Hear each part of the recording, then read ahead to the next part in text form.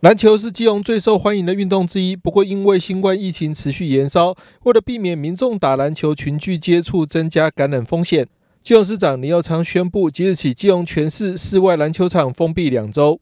那有鉴于啊双北的一个疫情的发烧啊，那呃我们也接收到非常多民众的一个反应哈，就是呃我们的户外的篮球场好，那还是有很多的呃年轻的朋友在运动。那我们经过讨论之后呢，觉得因为在篮球场在运动的时候是没有办法戴口罩打篮球，那而且会有近距离的肢体的一个接触，那更重要的是打篮球的时间其实也蛮长的哈，那都是呃这个认识的这些同学或者是朋友，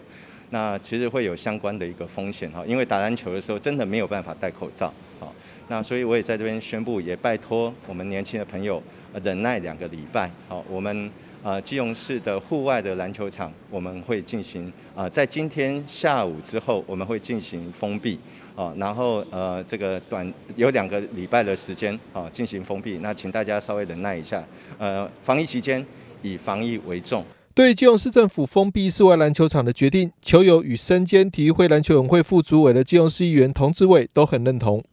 总不能边打篮球边戴口罩吧？这样子怎么打得下去？毕竟打篮球。跟那么多人之间互动，有时候打全场半场，然后有好几队在报，哦，都一次都十几二十几个人在旁边喝水聊天，那很难不戴口罩，很难去阻止这个传播啦，那个疫情的传播。因为打篮球的球友都知道，我们球友之间身体的接触多哈，而且近距离的接触，而且绝对是一个群聚的动作，而且打篮球最重要是绝对没办法戴口罩。所以我们非常赞成林永昌市长这样子的决定。那我也请各位球友可以忍耐两周，让大家一起度过这个呃防疫的这个艰难的时刻。为了落实防疫工作，基隆市政府方面也呼吁爱打篮球的市民再忍耐两周，等疫情趋缓再重新开放球场，让球友可以安心享受打球的乐趣。记者张启腾基隆报道。